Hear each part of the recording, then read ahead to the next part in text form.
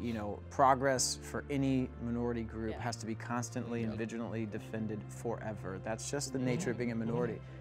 Mm-hmm.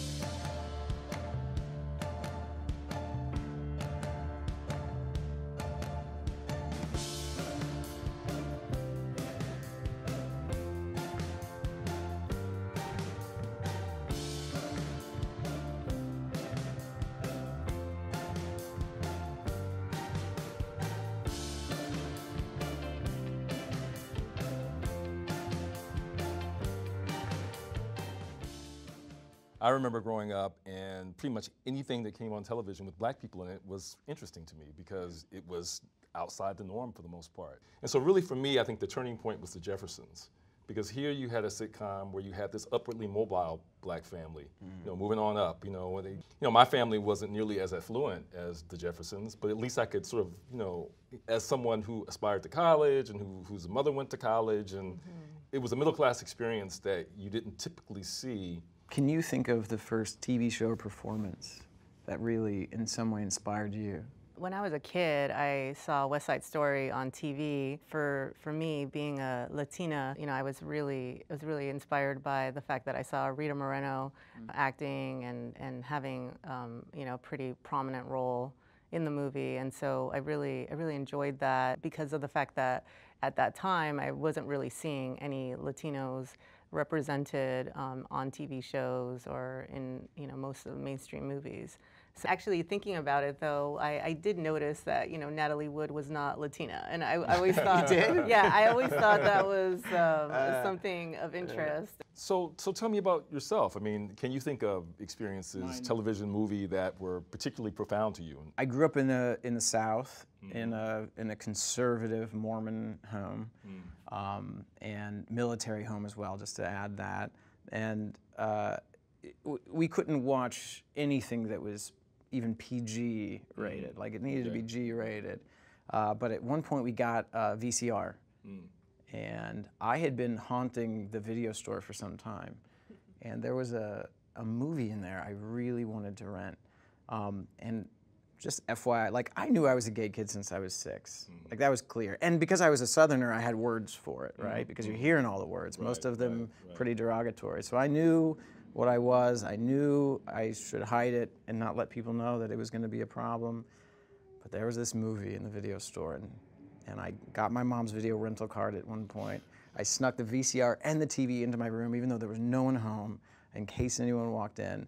I got to the video store and like sw- I must have been like 12 or 13, and I rented because I thought it was porno. It had a cute boy on the cover, and it was called 400 Blows. I know, and so I, I, I popped the I, I popped the tape in and I start watching what is Francois Truffaut's masterpiece, French New Wave masterpiece, 400 Blows.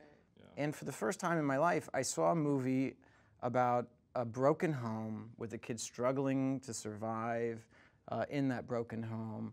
Uh, and that's what I was growing up in. And, and it, it, it was very real, it was very emotional and intimate and personal and, um, and had a very personal perspective. And I just didn't know that people made films about people like me.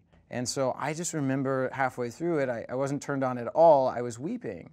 And, uh, and for me, that was the moment I realized uh, I wanted to make movies. Well, that's a great segue into sort of why all this stuff is important, right? Um, I'm a sociologist, and one of the things I'm interested in is the impact that media have on society. Media tend to normalize things. The more we see something in the media repeatedly over and over again, the more we begin to accept it as the norm. You know, and we, there are lots of ways to think about that. We become desensitized to violence if we see it all the time. It, it becomes normal in a way um, or you know the society becomes very cynical when you know all of its leaders lie, lie, lie, and they're caught in you know all kinds of scandals. After a while, you know the whole idea of truth. You know people like, gee, yeah, I believe in that. you know, and you know, gee, when does that ever happen, right? so those are things we know, and so if you if you extrapolate those patterns to um, the absence, for example, of gay characters or characters of color uh, or women in certain types of roles, I mean, after a while, people are sort of uh, socialized to see um, sort of a TV view of the world. I see what you're saying. It's like, yeah, TV influences and normalizes, but at the same time, us working in TV, we're trying to reach out and look through the eyes of this very valuable young viewer and say, what does their world look like, and how do we reflect that? Mm-hmm. Shows that look more like America, which is close to 40% minority, are the ones that have the highest ratings. Oh, That's what's key to, to our research is that we're showing that, that we connect diversity to the bottom line. And so that we show that diversity sells. And, and we're, we're not just showing that diversity sells with minorities, but with, uh, it also sells with whites. If the industry really understood how significant this was, they would invest. Right. I'm talking about real change, where, in- where the industry says, look, um, the, the, the ground is shifting beneath our feet. You know, we're already at 40% minority. In another two decades, we're going to be majority minority. And people are already kind of flexing their muscles and saying, this is what we want to see. And I'm not talking around tinkering around the margins. I'm talking about fundamentally change the way you do business. Okay, so if we're talking about underrepresentation, um, where, and I'm curious, where do you find women are, are underrepresented in Hollywood? Yeah, they're severely underrepresented as directors, um, particularly film directors. But you know, in TV, you can see that as well. Um, and uh, you know, the the reason why is that Hollywood has a particular you know structure that um, has worked for it for years, but you know, it's been run by white males, and and that um, the decisions of who gets hired for what you know has come down from from really is related to that. So you have white men who have traditionally done these things. They have the track record. They have the resume. So they're hireable in the eyes of, of people who are trying to patch together a project. And they make what they know how to make for the most part, you know, based on their experiences. And every once in a while, they venture into doing something that might be a little diverse or, you know, or non-traditional. Well, you have like a Norman Lear who understands. Right, right. But but sometimes they, they get into trouble with that if they didn't if they don't diversify the writers' room or if they don't have, you know, enough people who've actually experienced what they're trying to write about or trying the story they're trying to tell as part of their creative team. Mm-hmm. It was very funny. At a certain point on this show, on When We Rise, I hired Tommy Schlamme. Uh, he was, you know, gracious enough to come and do this project for nothing. And he was like, "Oh my gosh, I'm the diversity candidate because he's a straight white man." you know, but we also, by the way, we needed a straight white man because we had those in the show, and I wanted to know how is this playing with your experience. So it's not like we're saying, Yeah. like, get rid of all the straight white dudes Exactly. because Right, that's another right. experience, and I Right, needed to include that Yeah, in as exactly. well. when people ask us like well how is change going to happen or, or where do you think change can take place and a, a lot of it is is just really diversifying those executives like the executive ranks and you know finding ways to to make sure that you are you know bringing up minorities ethnic minorities through you know the the like the corporate ladder pretty much of studios and networks Okay, so Lance, we've been talking about all of the barriers and challenges and sort of contradictions in the industry that make it really hard to make progress on the diversity front.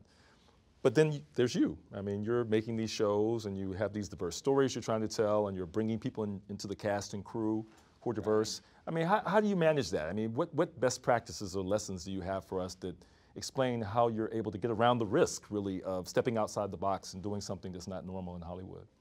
You have to you have to understand as a, as a filmmaker what's what's most valuable. I think at the end of the day, if you make a if you make a product that portrays diversity, and it comes off as inauthentic, mm-hmm. you're screwed, mm-hmm. right?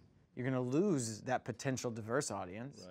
You're also it's. you may, you may antagonize them I you- if think you say the wrong things, right? I think audiences are smart. I got to say, I think they're smart. I think they have a gut sense of if that's authentic or not. And uh, I want my shows that do portray diversity uh, to, to make money, because this is a business. And you know, if Milk failed financially, I'm, I'm, I'm, you know, hindering the ability to make LGBT films in the future. You know, I Milk only got made because of Brokeback Mountain. Same, same, only studio that would pick it up. It's, they picked it up, I think, Focus, because they're like, we know how to make this profitable. I think faking it is riskier um, than the the risk I would take with someone with um, a less dense resume. It does mean showrunners have to step up and fight for that with a network who's Yeah. risk adverse. When you were a staff writer, um, did you experience any biases um, that the other staff writers um, like it displayed? I mean, I was on a show called Big Love, and uh, the showrunners were an openly gay couple, even though the show is not. There's nothing gay really about the show. Um, and so it was a pretty diverse staff. I think when you hire somebody who understands what it's like to have been a minority in some way, they tend to diversify a bit more. So uh, gender-wise, it was very diverse. Um, it was not diverse in a very unique way, which was it was a show about fundamentalist Mormons. It was a staff filled with uh, mostly Catholic and a few Jewish folks, and I was the only Mormon or ex-Mormon.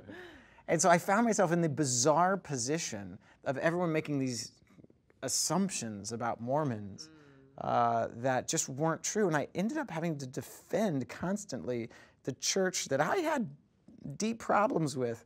I ended up being its great defender in that writer's room, uh, which, you know, I mean, by the way, it was a strange, uncomfortable position I found myself in as the defender of the Mormon religion. Um, uh, but I wanted it to be accurate. You know, it held the church to account, but to be accurate. But it was, you know, it was a, it was actually more of a good example of like by having someone who'd actually been a part of that, we were able to keep it slightly more on on track. I think sometimes minorities in writers' room, and certainly I've heard stories from some of the women who were in that writers' room who told me about their previous experiences, was that it was quite alienating. Yep.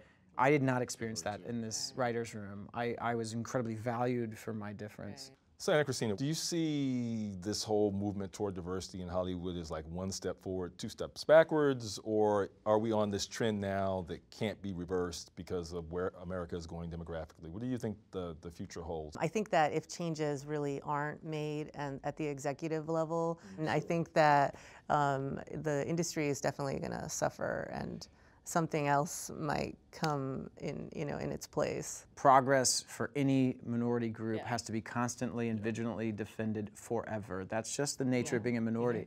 And it's what I tell young people when I go out lecturing. I'm like, you never get to rest. It's never over.